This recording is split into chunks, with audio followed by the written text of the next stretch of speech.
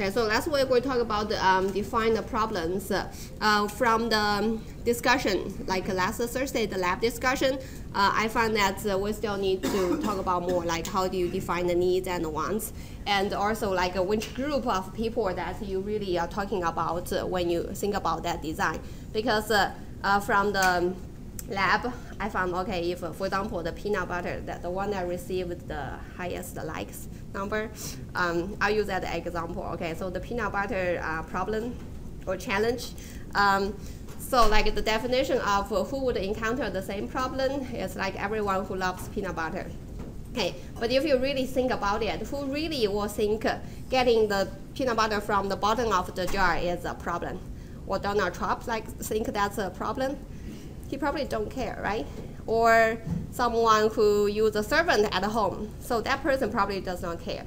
Or anyone, so really who would care about really take the effort to get the peanut butter from the bottom of the jar and uh, not get on the uh, hand.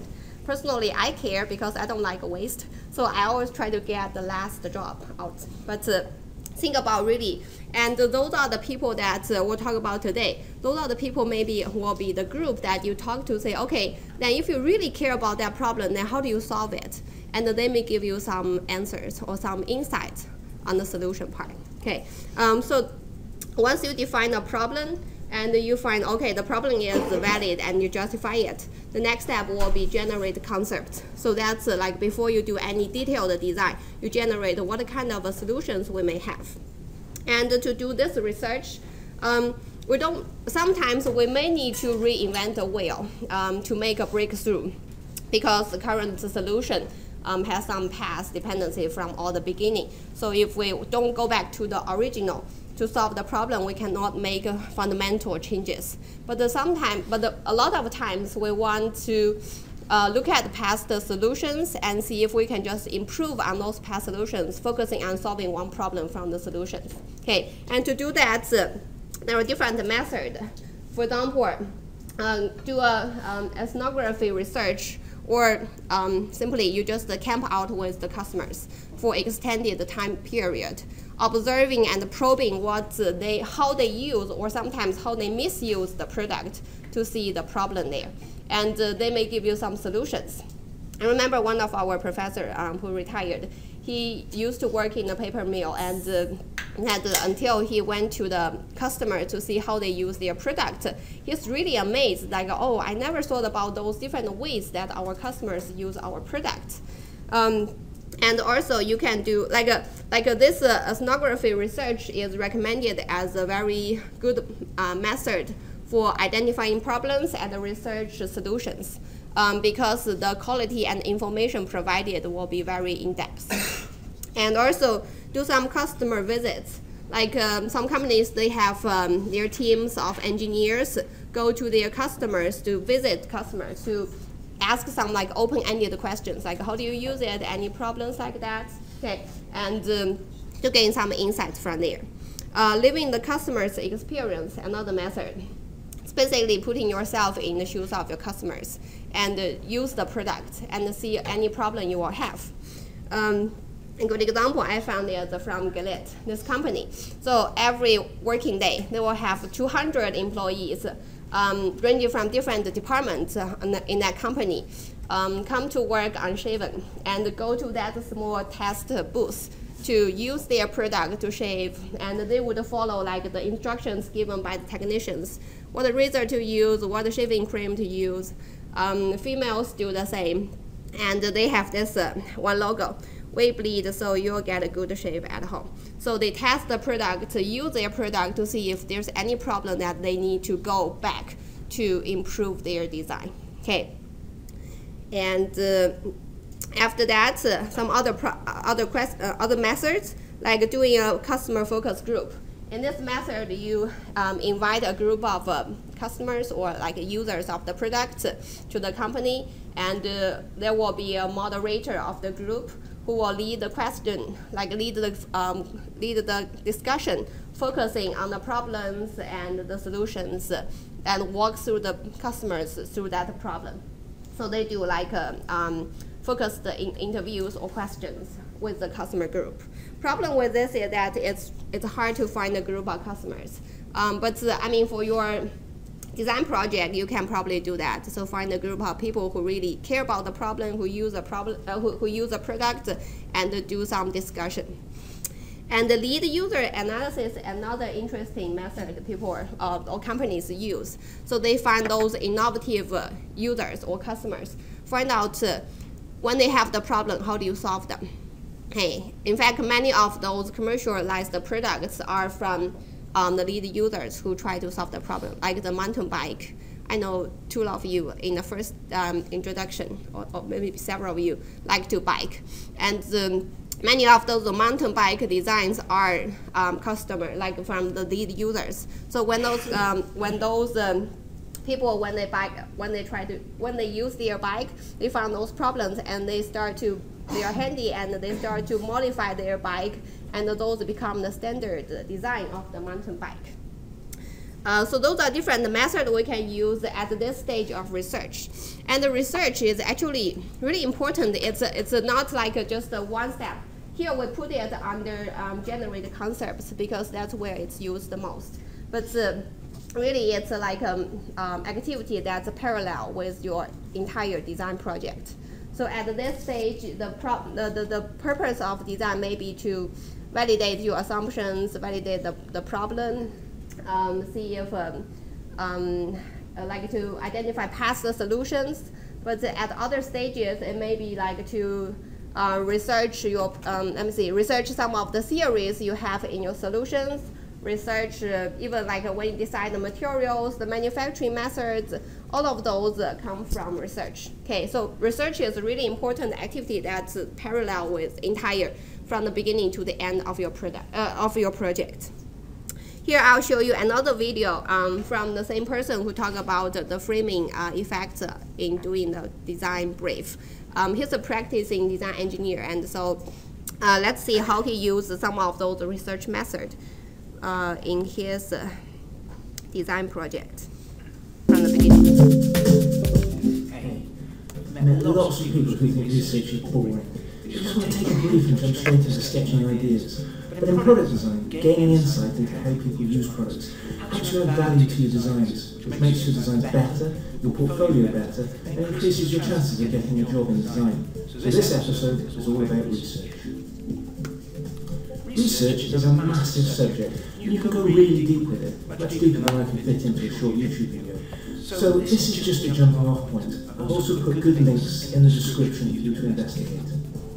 Why, research? Well, we research so we don't always end up designing things for ourselves. Once you pass the brief, everything in product design becomes about stories. Listening to people's stories, interpreting their stories, and telling your own story and a version of theirs through the products that you design.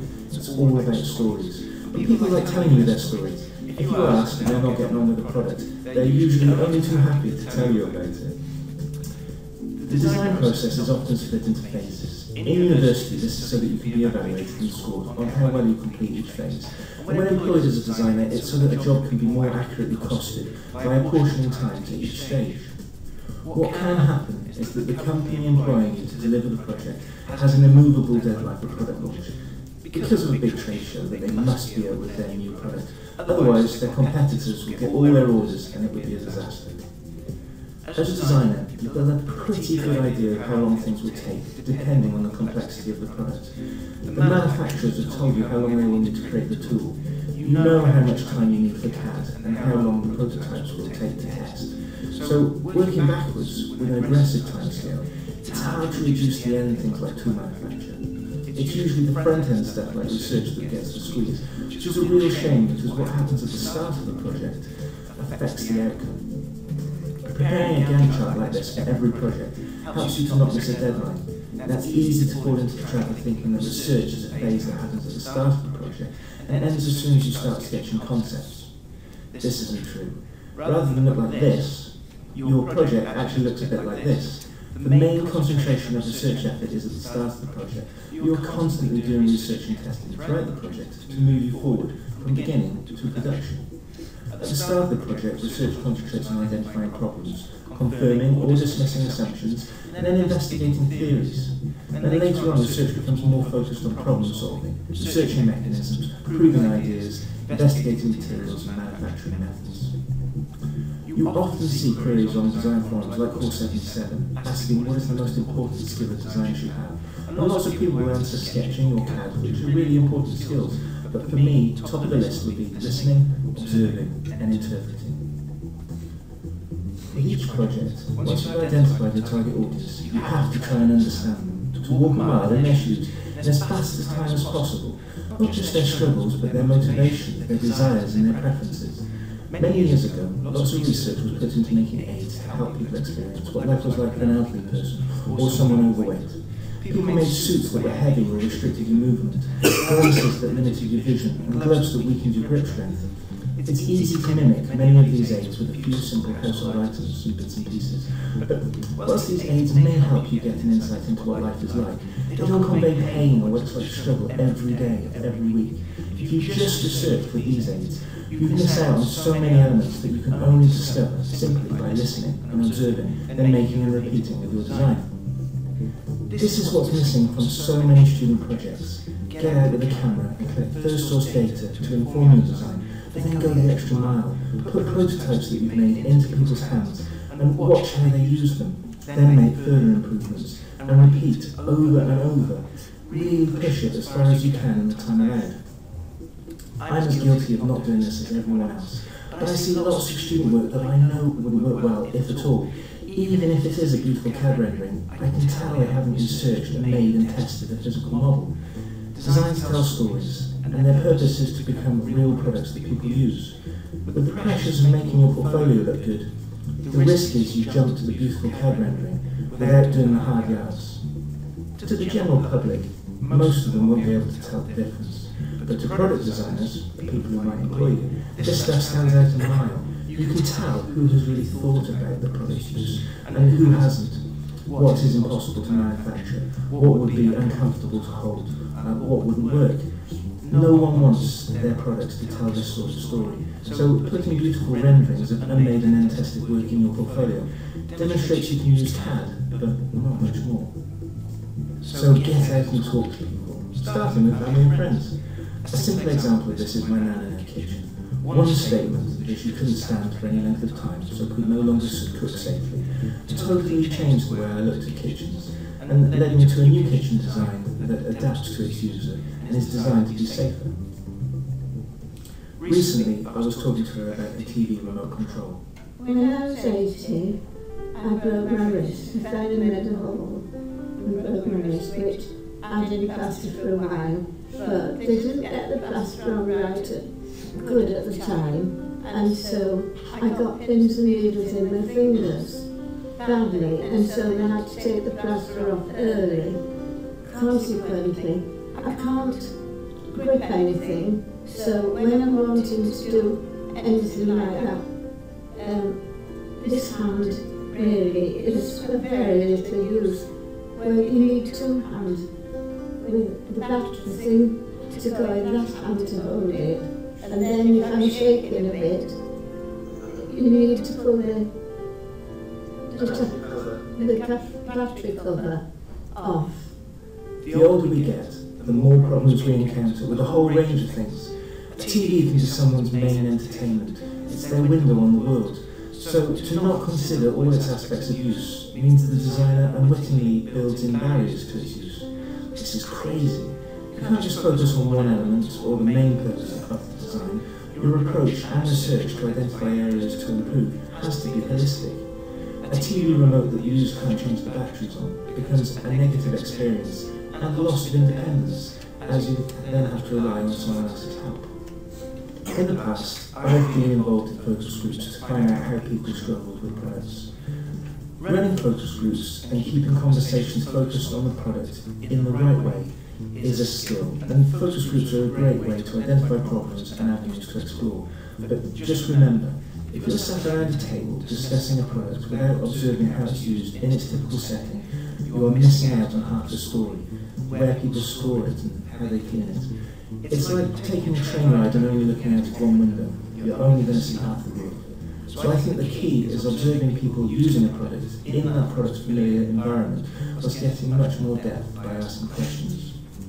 Open questions are the who, what, where types of questions. What do you find hard about using this product? Closed questions are when you want a specific answer. How often do you need to replace the batteries? There is an art to asking questions. There are many ways to ask the same question, and how you ask can affect the answer you get.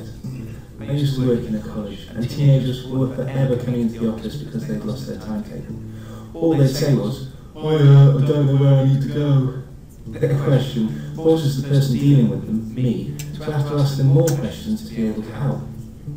What they should have said was something like, my name is Product Tank, I've lost my timetable, please would you tell me where Mr. D's sign is teaching now?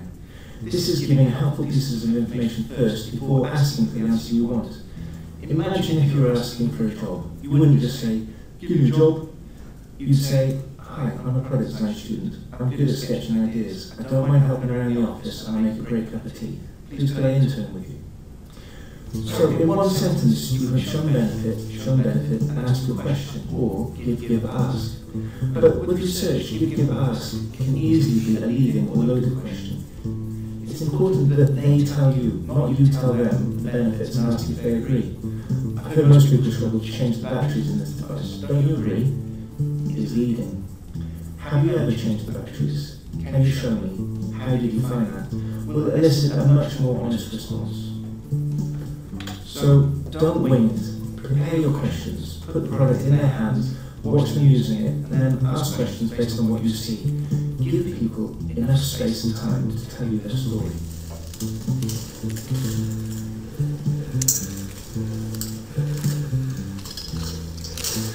Still pretty fingered.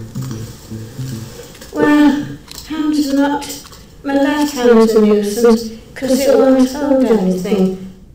For many of the problems that your research throws up, you may find yourself encountering what you feel are the same two solutions to problems over and over again. Option one, a solution to the problem already exists, just the person doesn't know about it. For example, someone I know um, was struggling to use their tin opener, and they didn't realise they could buy an electric hands-free one. Option two, the solution is more service-based. Family friend struggles to chop vegetables, but rather than design a clever mechanism that makes chopping vegetables easier, she can just buy packets of pre-cut vegetables. It would be easy if you come across these problems to think that there's nothing you can do. That's not true. We are the most adaptable species on the planet, but we're not going to evolve new appendages anytime soon. So what we've become amazingly adept at is creating tools, and often when a tool creates a problem, we design another tool solution. We create a tool to help us solve the problem created by another tool. For the person struggling with their tin buying an electric version is certainly the best short-term but rather than what at first glance is a closed-off avenue of research, the tin opener problem has opened up three avenues, improving the standard tin opener, improving the electric one, selling batteries, and trying to redesign tin or some form of packaging.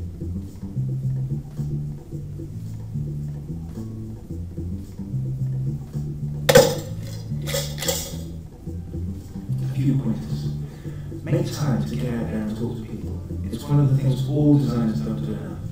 Don't design in isolation by just taking the brief and starting to sketch ideas.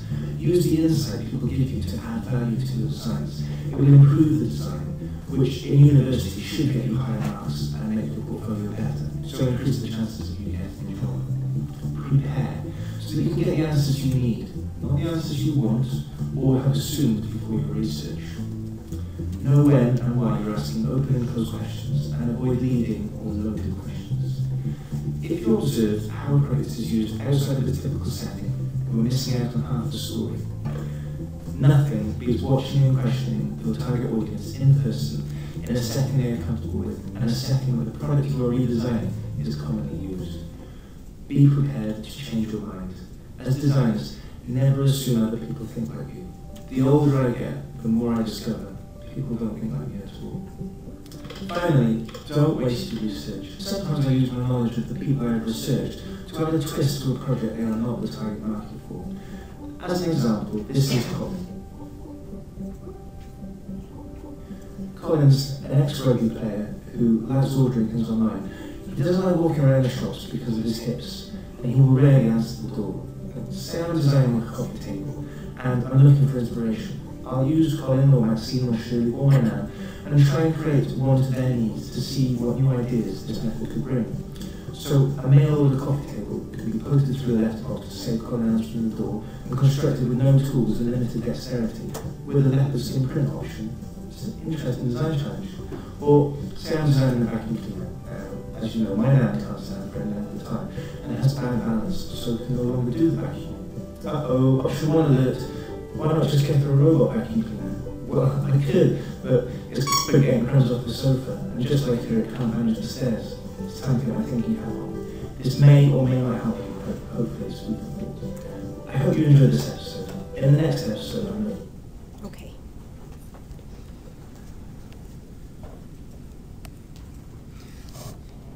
Okay, so he talked about some of those uh, methods we talked about and uh, give some examples. Hope it's um, helpful.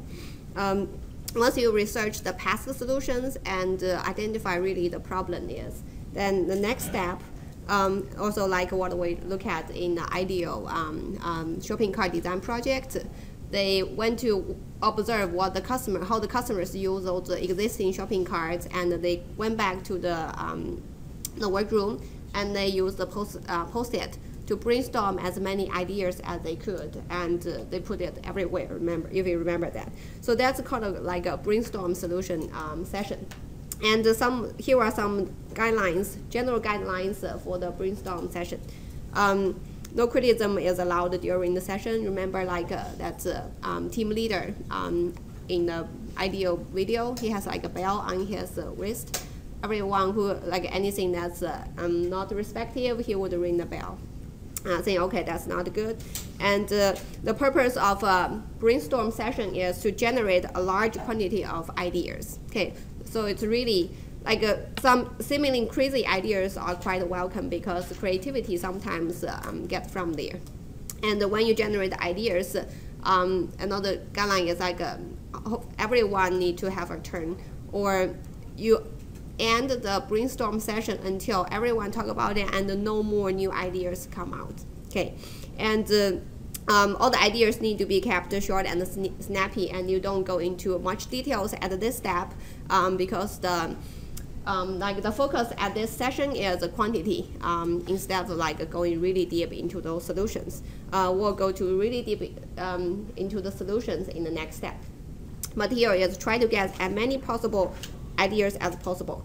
And then you look at others, uh, you can try to combine and improve the ideas.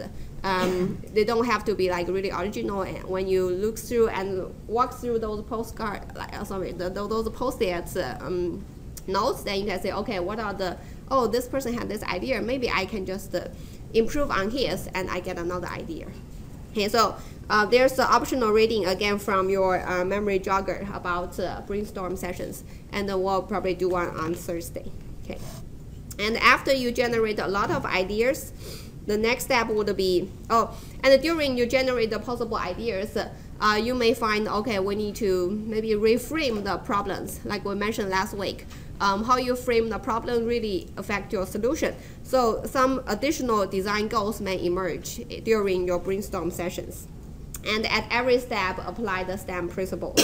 um, then, once a, a, big pool of ideas are generated, then it's time to select the approach because uh, um, we'll never end. We don't want to just end with the ideas. We want to get a solution, get technical drawing of, and do the prototype of. And how do you select approach? Again, there are some different, uh, when you select approach, it represents, okay, from the brainstorming solution, what we need to use, like the skill, thinking skills is really diverge and create a big list of them. And so you just uh, come here. And when we generate a big pool, it's time to select approach. So we need to converge and uh, make a solution, uh, make a choice among those uh, um, solution, possible solutions to get to the answer part. And uh, to do this, there are some useful tools that we can use um, called the decision matrix. Um, so here is one example. There are different methods, like uh, under this matrix, there are different uh, ways to get those values. Again, some optional reading for you guys to read when you go home. Um, I'll introduce those two here.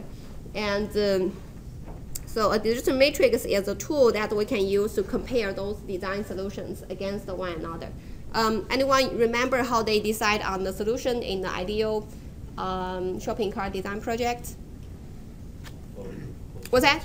They voted with post Good, good, good. Thank you. So they vote vote on the uh, post-it, and uh, the one who like received the most uh, votes uh, get to be explored more, right? So here, um, the, for example, if uh, six ideas are gener were generated, okay, and um, the team also like in the design brief stage, you would design, you would describe the cr criteria, right? So for example, cost, complexity, development time. So those may be some criteria that we'll need to consider to evaluate those options.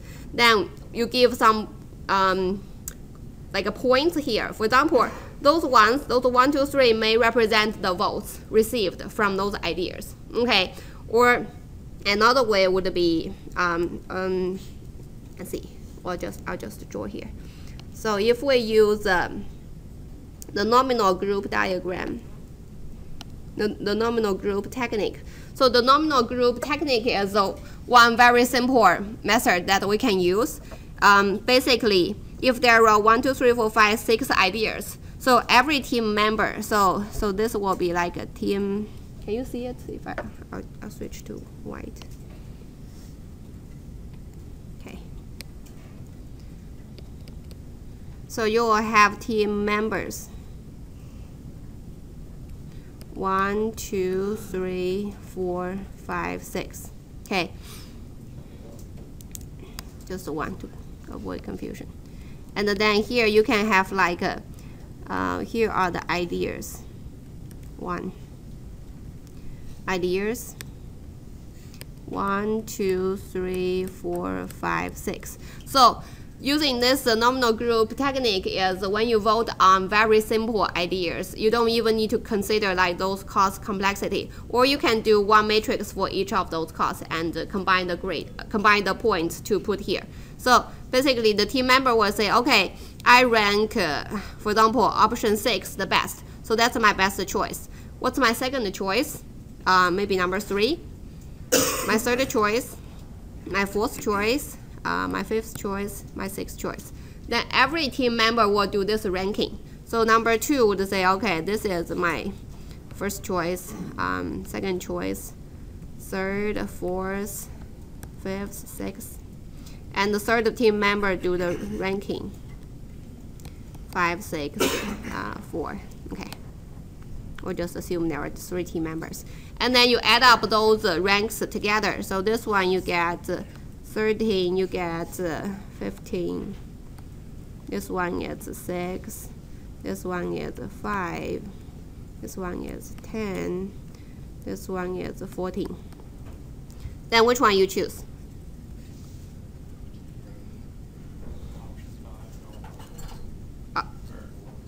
five. Um, so remember those those numbers represent the ranking. So like a one would be like my first choice.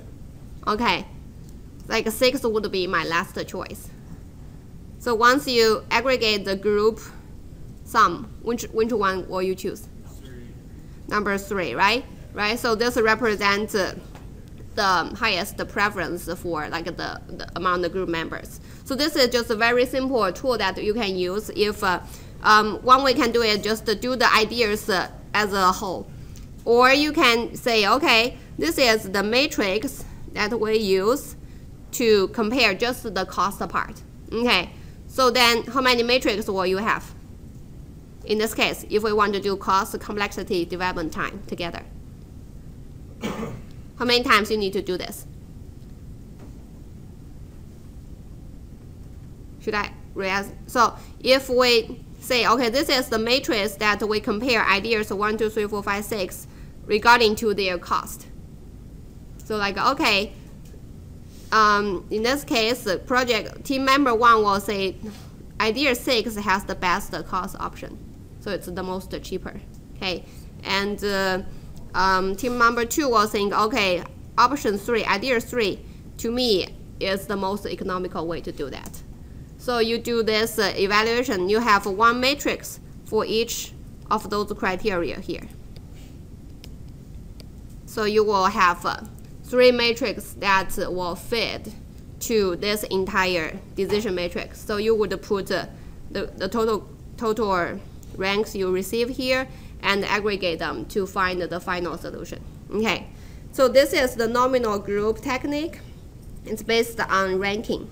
And uh, there are some other more complex. So depending on how important that project is and how important those uh, criteria you develop is, the other tool is uh, this uh, prioritization matrix. It's also introduced in this book. So in the prioritization matrix, what you do is you would compare the project. So here would be um, your ideas. Ideas, one, two, three, four, five, six. One, two, three, four, five, six. So you can again do this in a group. So every person, every person will have so ideas for cost. Okay.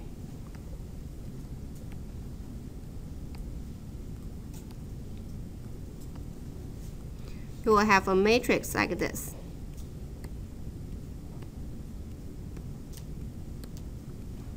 And you cross the diagonal.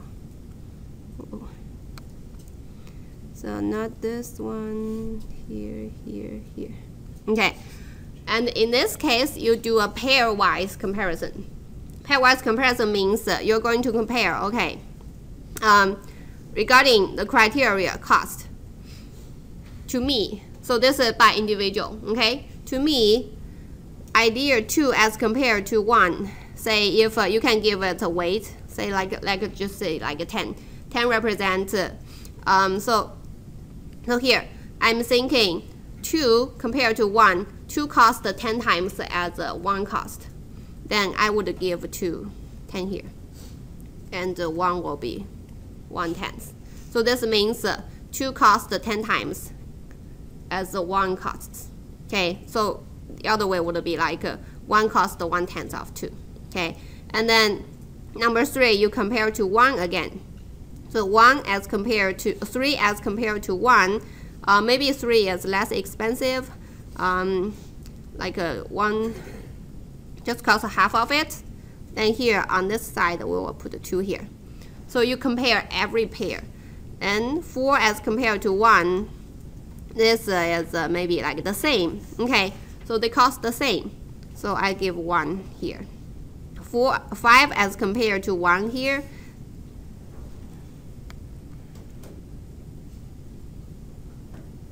Five as compared to one here, like two times. Okay, then here will be one half of it. Six as compared to one, so maybe that's just the, the same, same cost. So you would do this uh, in pairs for everyone. Then here you will do, okay, um, two already did that, like, okay, then three compared to two, three compared to two. We haven't done it yet, so three compared to two. We'll, we'll, we'll put all those values here on this side. Uh, not this one. Then on this uh, upper um, corner, it will be just the reciprocals of those values. And uh, you do this for every um, every member does this comparison to every criteria. So every person will do three matrix. And then you aggregate those values. So the book discussed how you aggregate the book, aggregate those values. So I'll ask you guys. Did anyone didn't buy the book or everyone didn't buy the book? Anyone bought the book? How many of you?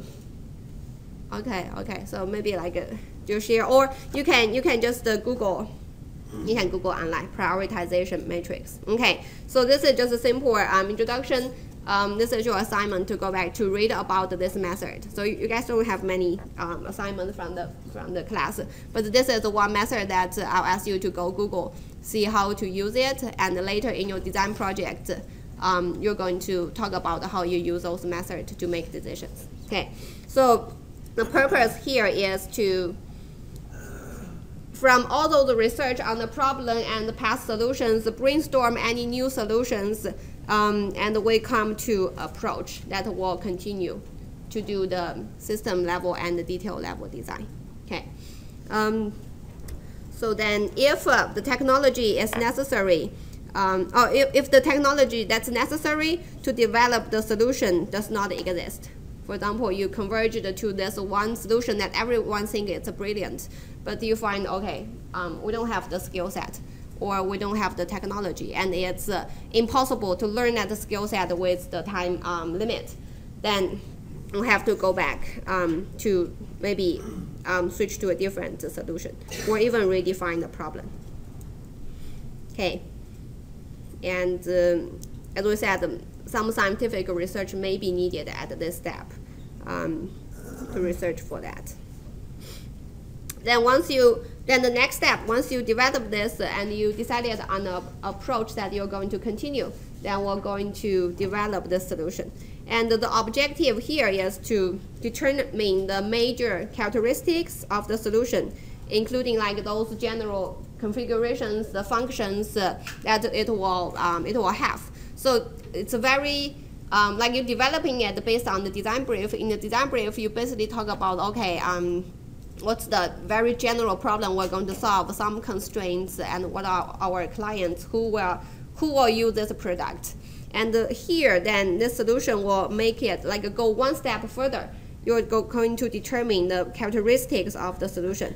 So what the functions you are going to use. Say is, if they're going to lightweight it, it will be convenient um, and uh, um, like uh, energy efficient. All those things will add to here. And what will um, what like the appearance is, uh, what's the shape of it, how big it is, and um, in this step, we're going to do analysis, experiments, make some mock-ups. Like in those videos I showed, people use even just like papers to, do some make mock-ups, like um, um, um, cardboard to just to show some like uh, to communicate. One way is to communicate among your team members, or and and maybe bring it to your potential users to say, okay, is this one solution that you're thinking about, or how, how about this design? Would you like to have this one?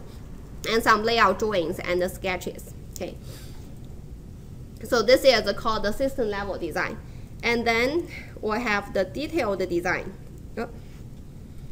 Yeah, here we have the detailed design that you continue to determine the detailed characteristic of the solution, including like final technical drawings, prototypes, final product, and uh, the presentation. Um, similar process will be used here. And uh, when you decide the functions of your product or your design, um, usually we'll have to decide, okay, then to achieve those functions, how do we, um, what, what, like when you translate those functions to your product, what kind of uh, parameters or like the design parameter values we're going to set. Um, if uh, I know those are the functions that we're going to achieve, then how do we achieve that in terms of design? So the quality function deployment method um, here called the house of quality. Uh, probably the if you are IE, you know this, right? What about MEs? Have you ever heard about this method? No, okay, okay. So this is a pretty useful method that helps the, the designers to map the functions here. So for example, um, let me use the pen. So um, here, here are those.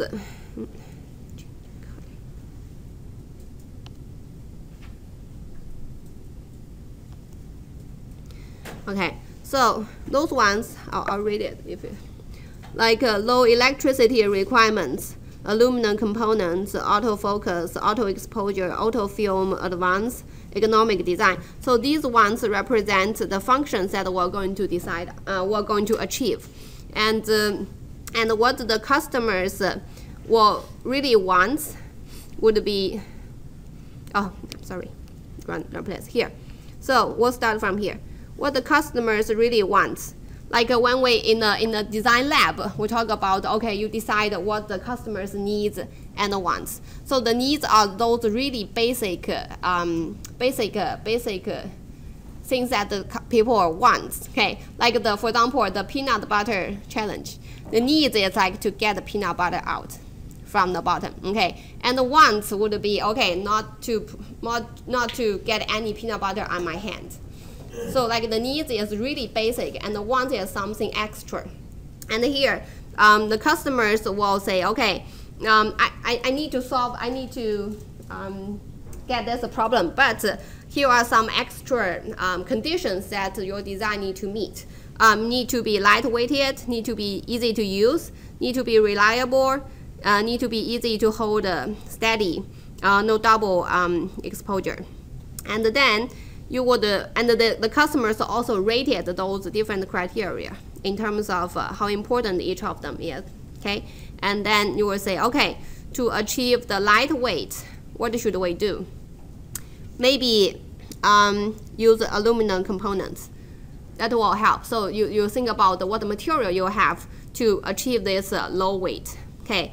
And then you would put, okay, aluminum components, and here, um, they have a medium relationship here. Okay, and also low electricity requirement, so you don't need like a motor or anything there. So that's another um, another another design parameter that you need to include. So here we'll say, okay, the lightweight is um, highly related to low electricity requirements, and also the material used, maybe use aluminum components, that also helps improve the lightweight function. Another one will be okay, ergonomical design. Um, so people are when they when they when they use a product, they would feel that uh, like it, it's lightweight, or at least uh, um, the way they use it will, will make it more easy. It's easier, make them feel it's lightweight. Okay, so you put those uh, function or the customer's wants here, or the functions you want to achieve on this side, and then consider the design the ways to design your product on this side. And uh, you can see that many of them, okay, for example, easy to use, like this low electricity requirements, it will be related to several of the criteria here.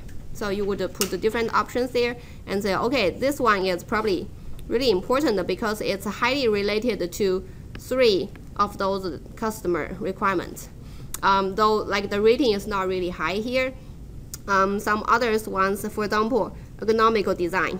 Um, it, ha it has a it has a, it has a, like a high, very high relationship with uh, easy to hold steady. Okay, and uh, it also has a medium relation with uh, easy to use. Um, oh, sorry, I, I, I said wrong. Those those dots are like low low um, low relation. Uh, those ones with a circle with a dot. So we'll look at here circle with the dot represents a high relation. So this one, ergonomical design, seems to be pretty important. It's uh, highly related to um, easy to hold steady. This this function, this one customer wants that ranked pretty high. Okay, and also related to easy to use. Um, which rank the fourth, and the ergonomic design also related to the lightweight, um, some in some way. So um, when you design a product, this will become a very important thing that we'll keep in mind. And uh, um, here, on the roof of this uh, quality of house, it also represents how they, like each of those uh, um, characteristics of your product is related. For example, um, autofocus, autofocus here, is related to auto exposure meaning that if you have um, autofocus, you probably will need to consider doing auto exposure. Okay, and um, um, let me ask you, what does this here mean? Can you can you tell? Which two are related? Which one? Okay, auto film advance right here, like these two these are related. So this house quality help you de to decide which characteristics are really important and uh, and uh, if they are dependent on each other, then if you have one of them, you probably will need to include the other one. Okay. I really cannot see the Okay, okay. So I'll see you Thursday then. Uh, I'll, I'll put the assignment uh, on the canvas. Okay some reading and some exploration. Yeah. Mm. Okay. Oh, you didn't get one? Okay. Uh, oh, there, oh, okay, no more. Mm.